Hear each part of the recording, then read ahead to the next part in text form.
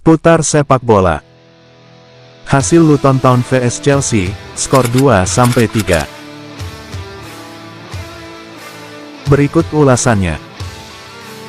Chelsea menghadapi Luton Town di Kenilworth Road pada pekan ke-20 Premier League 2023 per 2024, Sabtu tanggal 30 Desember tahun 2023. Pertandingan Luton vs Chelsea ini berakhir dengan skor 2-3. Chelsea unggul 2-0 di babak pertama melalui gol-gol Cole Palmer menit 12 dan Noni Madueke menit 37. Di babak kedua, Chelsea menjauh berkat gol kedua Cole Palmer pada menit 70. Luton lalu menipiskan selisih skor melalui gol ex-Chelsea, Ross Barkley, di menit 80, serta gol Elijah Adebayo di menit 87. Chelsea meraih kemenangan yang ke-8 M8S4K8, tapi itu tak membuat mereka beranjak dari papan tengah. Sementara itu, Luton dipaksa menelan kekalahannya yang ke-12 M4S3K12 dan tetap berkutat di zona merah.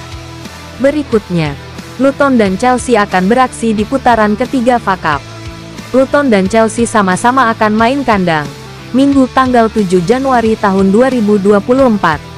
Luton akan melawan Bolton Wanderers, sedangkan Chelsea akan ditantang Preston North End. Baru 12 menit laga berjalan, Chelsea sudah unggul. Berawal dari kesalahan mengoper Isa Kabore, Palmer membobol gawang Luton dengan sebuah tembakan menyilang kaki kiri.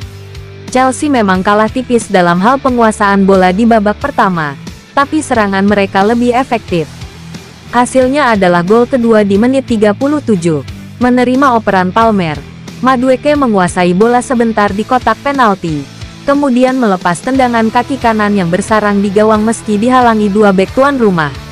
Di laga sebelumnya, ketika Chelsea menang 2-1 atas Crystal Palace, Madueke menyumbang satu gol penalti.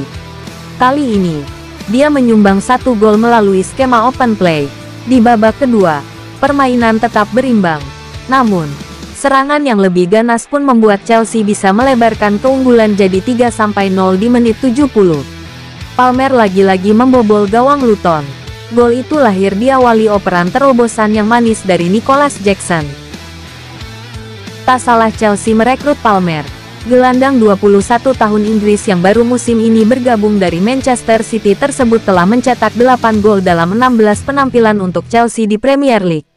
Setelah gol mereka dianulir oleh VAR, Luton akhirnya bisa menipiskan selisih skor di menit 80. Gol Luton dicetak oleh Barclay dengan sundulan dalam sebuah situasi tendangan sudut.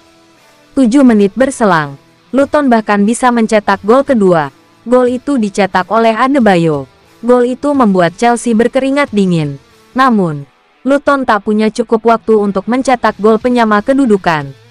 Chelsea pun pulang membawa tiga poin dari Kenilworth Road.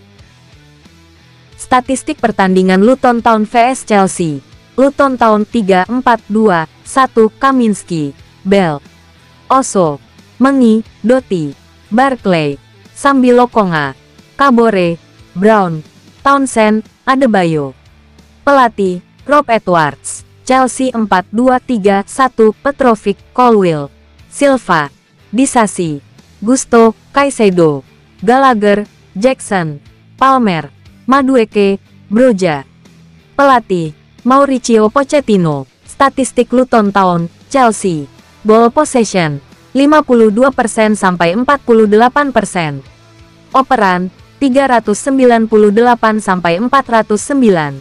Akurasi operan, 83% sampai 82%. Pelanggaran, 14-21. Kartu kuning, 2-2. Kartu merah, 0-0. Shots, 15-12. Shots on target, 6-8. Gol, 2-3. Jangan lupa klik tombol subscribe. Dan jangan lupa like dan aktifkan lonceng notifikasinya agar tidak ketinggalan info dan video terbaru dari channel Info News Official.